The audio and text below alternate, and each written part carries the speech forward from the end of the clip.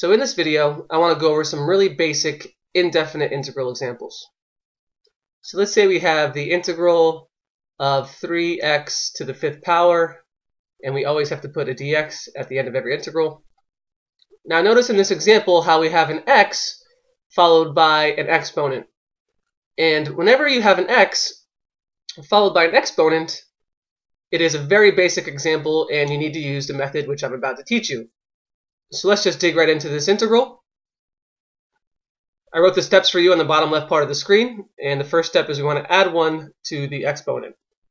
So since we had a 3x to the fifth in the integral, after we integrate, we're going to add 1 to the exponent, so instead of having a 5 exponent, we're going to have a 6 exponent. Now moving on to step number 2, we need to divide by the same. So since we have a 6 exponent, we need to divide by 6 exponent. We need to divide by the same.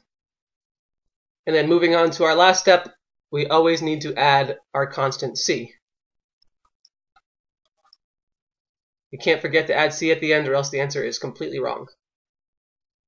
So now we have integrated this basic example. The only thing left for us to do is to simplify this as much as possible. Notice how we have a 3 divided by a 6, which can be reduced. So 3 over 6 can be reduced to 1 half.